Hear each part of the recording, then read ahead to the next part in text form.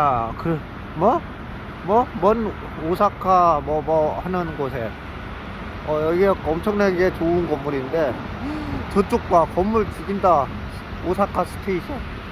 야 근데 그 앞에 또 엄청나게 좋은 막 건물이 또 있고, 와, 그냥, 역시 선진국은 다르다. 한국은 후진국이지, 뭔, 뭐, 뭐, 경제개발도상국 뭐 이런 거잖아. 그치?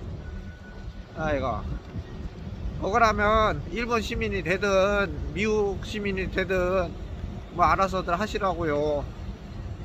지금 여기에 패밀리마트 가니까 오 말은 일본말을 하는데 얼굴을 보니까 거의 색상이 거의 필리핀 사람 같은데 뭐 그런 사람들도 있더라고. 뭐저 사람도 뭐 일본 시민이 되고 싶어서 필리핀에서 왔는지 뭐 그런 생각도 들고 요즘에 뭐 국가란 그런 게 어딨어. 자기가 알아서 어 시민이 되고 싶은 국가에 가가지고 시민이 되는 거야. 그쵸? 근데 문제는 이 언어를 잘 해야지. 말을 못하는데 어떻게 한국 사람이 되려면 한국말을 해야 되는데 한국말 못하면 어떻게 하냐고. 일본 사람이 되려면 일본말을 할 줄 알아야 되고. 이 미국 사람이 되려면 영어를 할 줄 알아야지. 에라이 모르겠다 나이 그것도 그 젊을 때나 하는 거지 이거.